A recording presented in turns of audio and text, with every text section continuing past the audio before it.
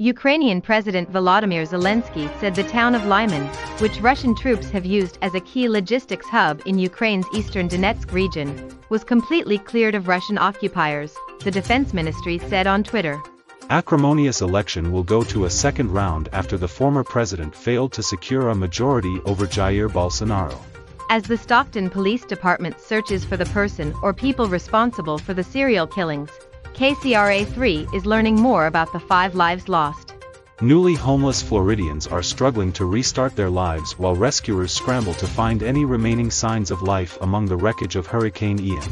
Who will start at quarterback remains a question mark in Pittsburgh. Tyler Bass kicked a 21-yard field goal on the game's final play, and Josh Allen rallied the Buffalo Bills from a 17-point deficit.